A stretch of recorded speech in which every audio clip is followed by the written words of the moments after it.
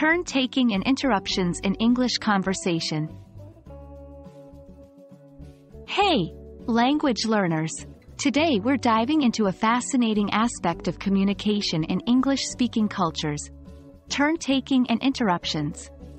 It might seem like a small thing, but understanding these subtle cultural norms can significantly improve your communication skills and make you feel more at ease in conversations. So, let's get started.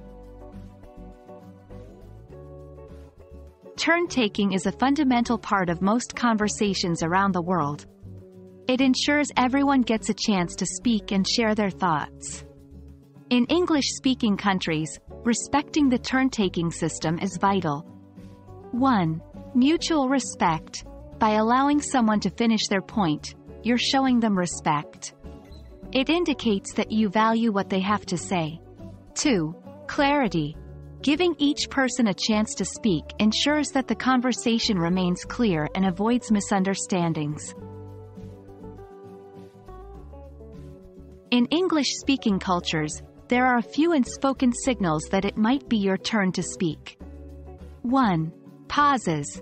If someone finishes a sentence and doesn't immediately start another one, it might be an invitation for you to jump in. 2.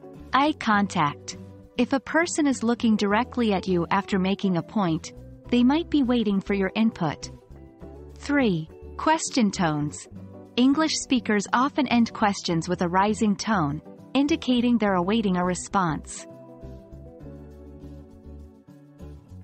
While it's essential to respect turn-taking, interruptions do happen. They aren't always rude, but it depends on the context. 1. Emergencies. If something urgent comes up, it's generally acceptable to interrupt. 2. Clarifications. If you're confused about something, you might interrupt to ask for clarification. It's polite to start with, sorry to interrupt, but 3.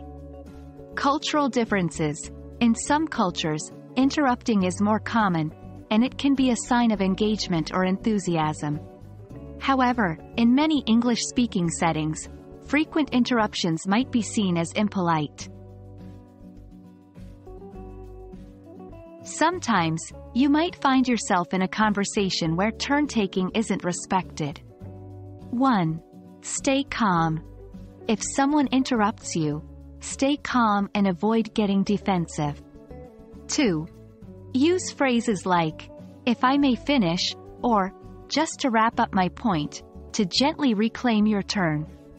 3. Active listening. Even if you feel you're being interrupted too often, make sure you're actively listening when it's not your turn.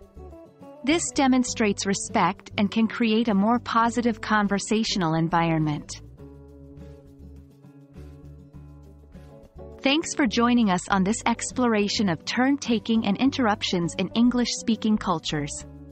We hope you found this insightful and that you'll be more confident navigating conversations in English. Remember, communication is as much about listening as it is about speaking. See you in the next video.